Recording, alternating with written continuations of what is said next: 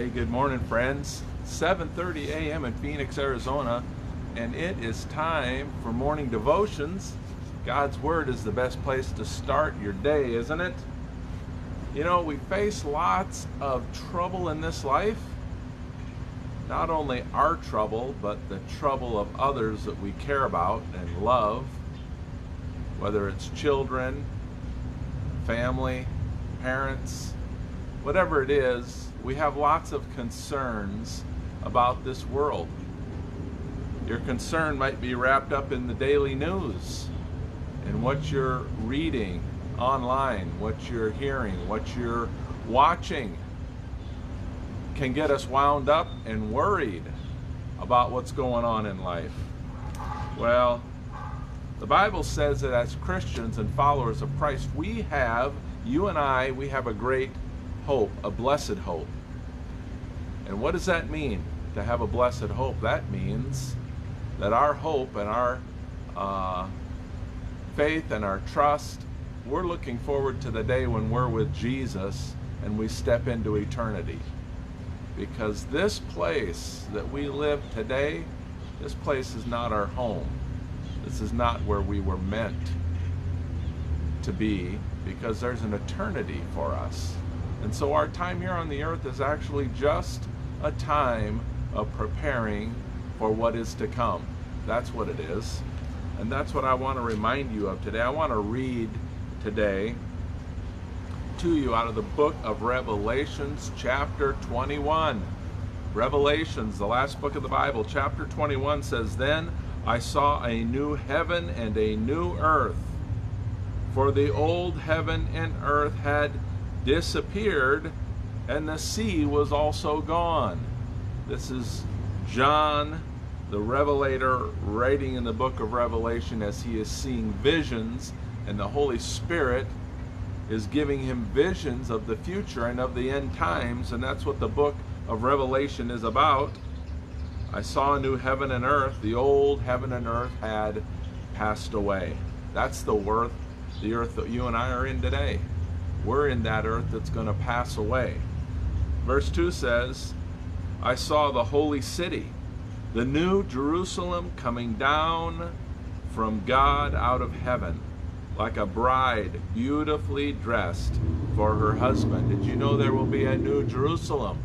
My wife and I this year had the privilege of traveling to the current Jerusalem in Israel and taking a tour of the Holy Land. That was exciting, but the Bible says there is a new Jerusalem, a brand new city of God coming down out of heaven in the end times. Verse 3 says, I heard a loud shout from the throne saying, Look, God's home is now among his people. He will live with them, and they will be his people. God himself will be with them. And verse 4, verse 4, a many times quoted verse. We love this verse. He will wipe away every tear from their eyes. There will be no more death, or sorrow, or crying, or pain. All these things will be gone forever. My friends, that's our great hope. That's the hope that we live for, the hope of eternity with Christ, when all the sorrow and pain of this world is gone. Let's pray this morning. God, we thank you for your blessings in our life. We thank you for your word, and we thank you that there is coming a day when all things will be new, and when crying and death and sorrow and pain will be no more, according to Scripture. We thank you for that, Lord. We thank you for the future that you have for each and every one of us whose faith is in Christ. We pray these things in Jesus' name. Amen. All right, well, thank you guys for being with me this morning. Let's see who has jumped on today. All right, let me back this up into the shade a little bit. Oh, there's my beautiful wife this morning. Good morning, dear. There's Alfredo and Christine, RJ, and Georgia. There's Karen this morning and Sylvia Jan and Dennis Duff and Terry Guerrero this morning from Nebraska, and Mary and Joe Taylor. Laura Lynn, good morning to you and to Rose Fairweather in Belize.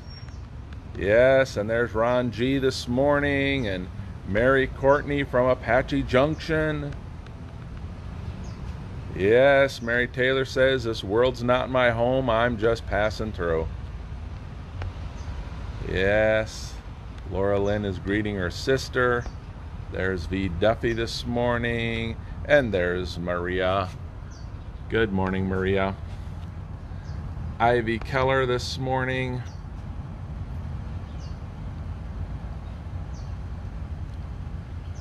Yes. Someday we will all meet together, won't we? All of our morning devotions people. If we don't see each other before, we'll see each other in heaven, won't we? Laura Lynn's praying for everyone. Phyllis, good morning to you.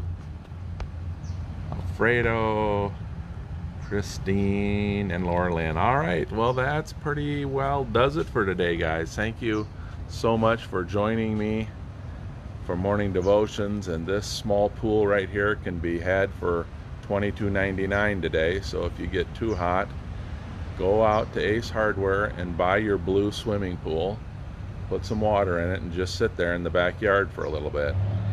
Well thanks guys for being with me this morning. God bless you and have an awesome day today in Jesus. Bye bye